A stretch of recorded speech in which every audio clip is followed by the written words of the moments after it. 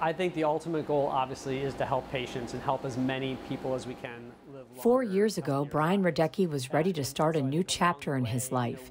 He had retired from his job working for a public company and was working with several startups when he learned about a therapy to help cancer patients that was being developed by NIH scientist Dr. Dan Fowler. I personally have a long history of cancer in my family. My father died of cancer, so I was very interested. And by the end of the lunch, we said, let's start a company. Let's take you know all your life's work and really get it from the bench to the bedside and out to patients. You yeah. see, these are the CD4 cells I was telling you about. You Dr. Dan Fowler spent 27 years at NIH working on immunology trials where they treated hundreds of patients. It was through that work he realized he was ready to take his experience to the next level.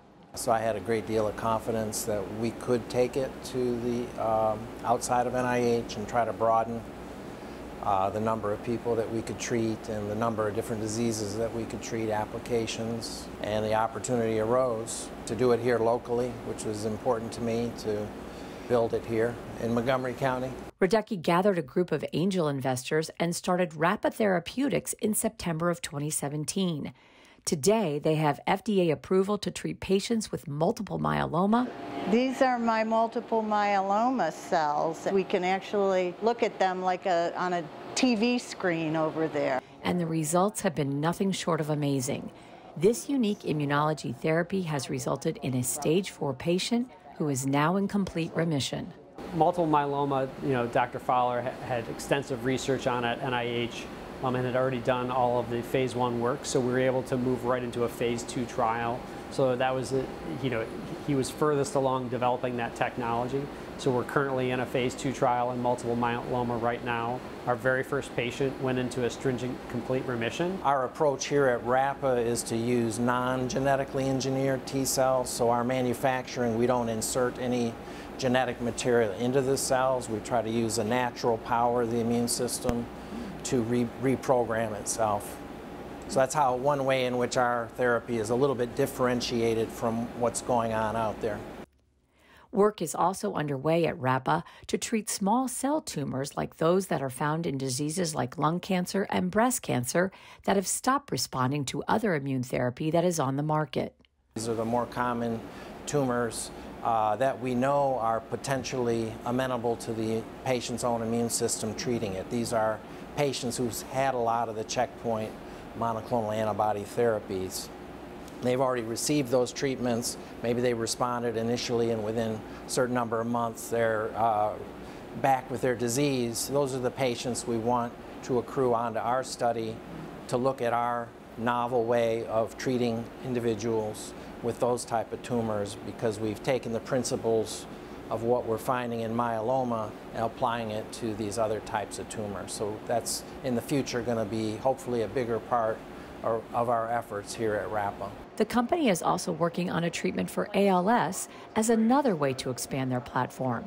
In ALS, the opposite of what happens with cancer occurs, where the immune system is agitated and responding to things it should be quiet against. Rapa has developed technology that provides a new approach to neuroinflammation or other autoimmune diseases. It's a so-called Treg cell.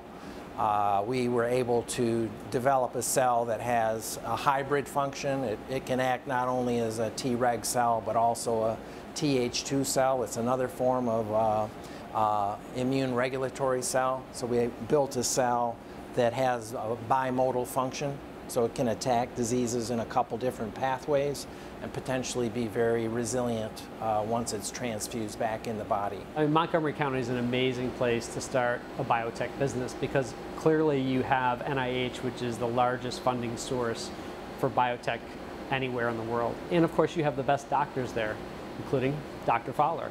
Um, so you're seeing a lot of the technology that's being developed there now being spun out into businesses and really again to get get those get that technology from you know from the bench to the bedside really getting it into patients Dr. Fowler will tell you, even with the success they are seeing, they are capitalizing on every bit of information they have gathered to do even better. We like to celebrate, we're happy, but then very quickly we get down to reality and figure out what are we going to do with that information because your, your work's really never done. We have so many innovative companies doing some innovative things.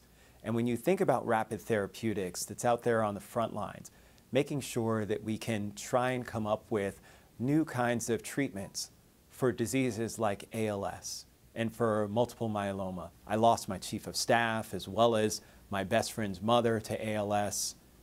These are things that are scourges in our community in which we've been trying for so long to find a cure. Just so fulfilling to hear after the patients are treated with our product that they are doing really well. To give people hope, to give people the idea that they might be able to extend their lives.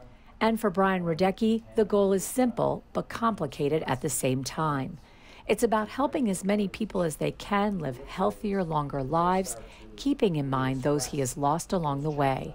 My dad would be so proud, so proud. I, I think, you know, he, he really was an amazing man, uh, and, you know, unfortunately his life was cut short uh, by cancer. So, you know, and I have a long history of that in my family. So I think anything that I could do to help people that have gone through that, and you know, a lot of people know people that have been through, you know, people with cancer. Um, you know, that's that's that's really would be for me, you know, the biggest prize.